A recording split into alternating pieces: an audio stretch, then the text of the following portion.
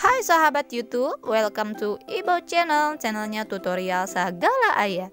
Di video kali ini aku akan share lagi ke kalian cara membuat foto sampul YouTube atau foto banner YouTube melalui HP di tahun 2022. Bedanya, video aku kali ini dengan video aku sebelumnya, di video kali ini aku akan memberikan cara yang sesimpel mungkin dengan hasil yang maksimal. Dan ini solusi banget atau recommended banget buat kita para YouTuber pemula yang bermodalkan HP tanpa mempunyai kapasitas memori yang besar. Di sini saya akan menggunakan Canva. Canva bisa dioperasikan melalui web browser. Untuk web browsernya di sini aku akan menggunakan aplikasi Google Chrome ya, sahabat. Nah, sebelum kita mulai, kalian boleh like, comment, share, dan subscribe Ibau Channel supaya channel ini terus berkembang dan supaya kalian tidak ketinggalan info menarik lainnya. Tanpa basa-basi lagi, mari kita mulai.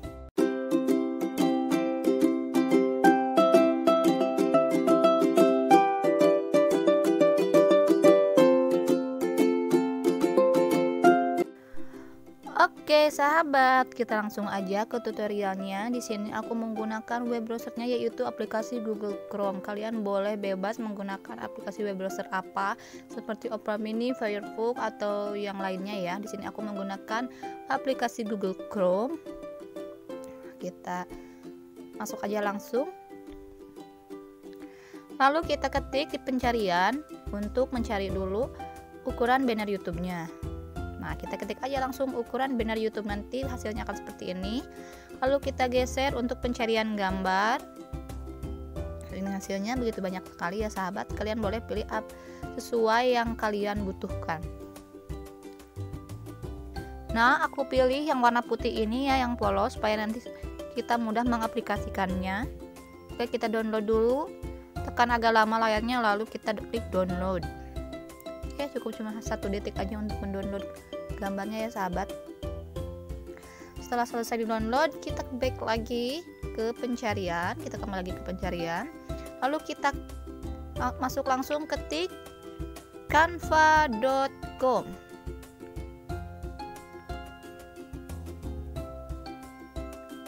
Nah, aplikasi Canva ini sahabat kalian ya, eh, sebelumnya kita harus login dulu, harus punya akun dulu. Nah, sebelum Nah ini ya ini dia tampilan browsernya Canva untuk yang belum daftar belum registrasi boleh pilih tiga garis yang ada di atas lalu klik daftar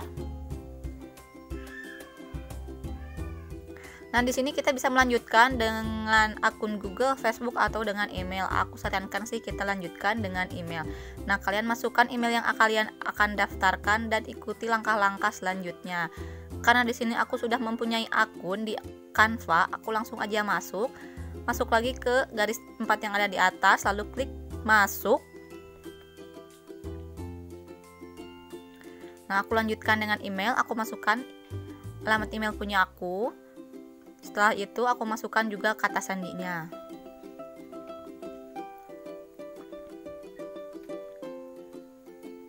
Oke, lalu kita akan dibawa ke halaman selanjutnya yaitu beranda Canva. Ini dia berandanya Canva. Kita langsung aja klik di pencarian.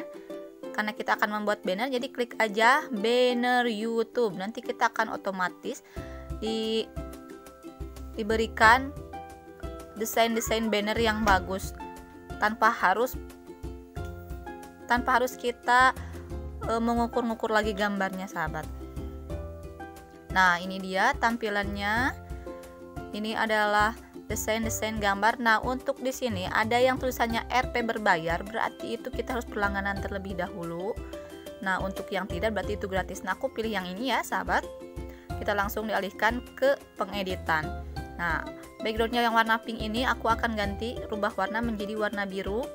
Klik aja langsung backgroundnya lalu kita rubah warna sesuai yang kita inginkan. Aku di sini aku pakai warna biru.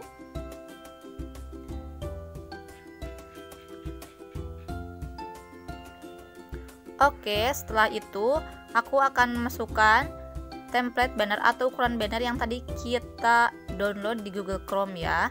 Nah, untuk itu kita unggah file dulu. Di sini klik unggah file.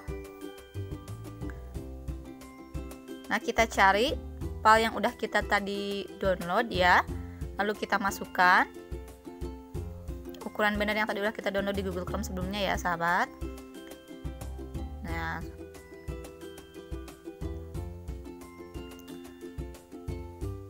oke udah selesai. Nah ini dia. Kita sesuaikan ukurannya. Kita tarik ujung ke ujung.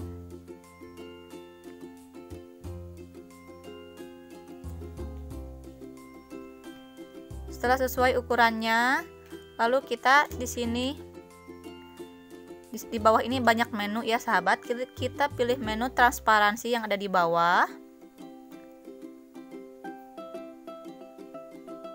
kita scroll aja ke kiri terus klik transparansi. Nah transparansinya kita ubah kecilkan dan kita setelah selesai kita pilih posisi. Nah posisinya kita pilih yang ke paling belakang. Jadi si template bannernya itu ukuran bannernya itu berubah jadi ke ukuran yang paling belakang. Nah di sini aku akan menggunakan foto aku yang udah aku unggah tadi.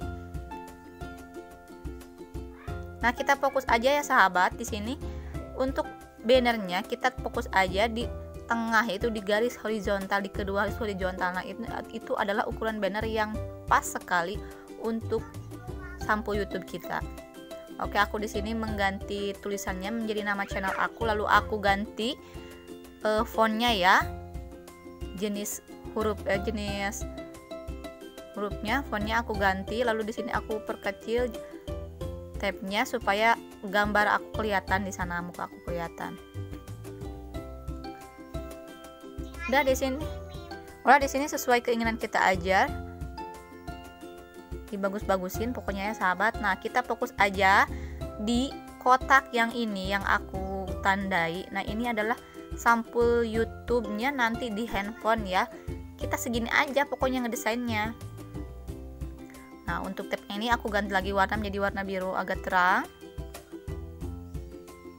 sesuaikan dengan temanya di sini.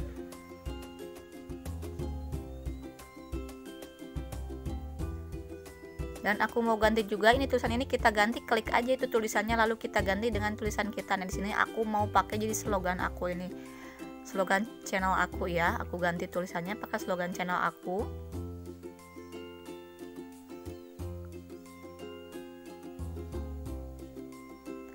Setelah itu aku akan geser ke sebelah atas.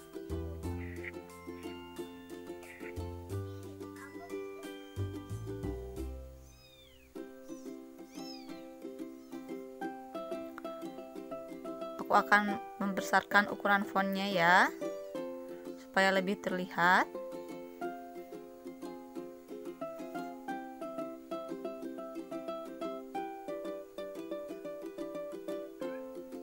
Nah, geser-geser gini aja sesuai keinginan kita sesuai selera kita gimana bagusnya aja sahabat ya. Aku yakin kalian bisa mengeditnya lebih bagus daripada aku.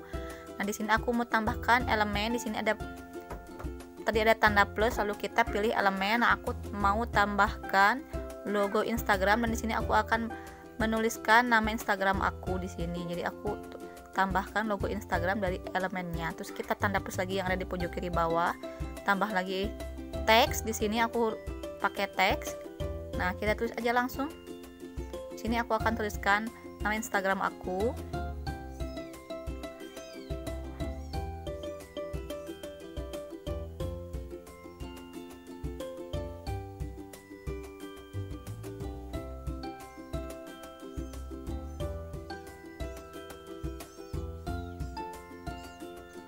Selesai aku ganti fontnya. Gaya tulisannya aku ganti lalu aku juga mengubah ukuran fontnya dikecilkan. Kita sesuaikan tempatnya ya sahabat. Nah terus selesai. Klik lagi.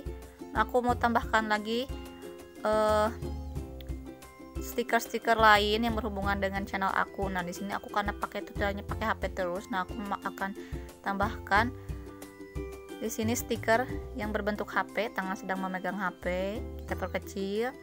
Untuk menambahkan stiker elemen yang lainnya, kita klik aja tombol plus yang ada di pojok kiri bawah yang itu.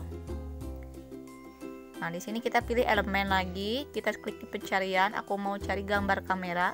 tulis aja langsung kamera nanti di sini muncul foto uh, apa ya template ataupun stiker-stiker kamera berbagai macam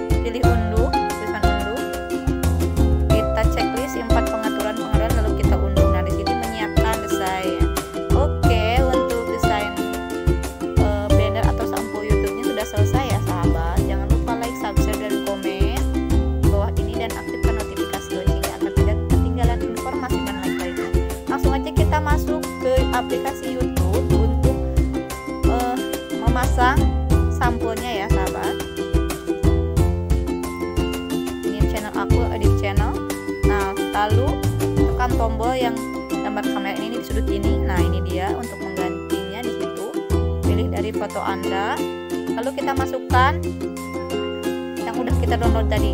Nah, kita cubit aja langsung untuk menyesuaikannya. Dan ini gak perlu digeser-geser lagi, ini udah pas banget ya ukurannya sahabat. Oke, gitu aja ya sahabat. Jangan lupa klik simpan yang ada di pojok kanan atas, lalu kita tunggu perubahannya.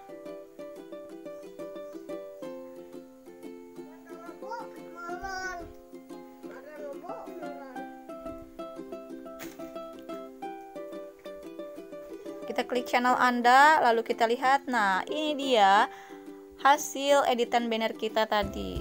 Sampulnya jadi cucuk banget kan hasilnya maksimal banget. Oke sekian tutorial dari aku. Semoga bermanfaat. Jangan lupa like subscribe dan komen. Ibo channel jangan lupa aktifkan notifikasi loncengnya supaya kalian tidak ketinggalan informasi menarik lainnya. Terima kasih sudah menonton. Sampai jumpa di video selanjutnya. Terima kasih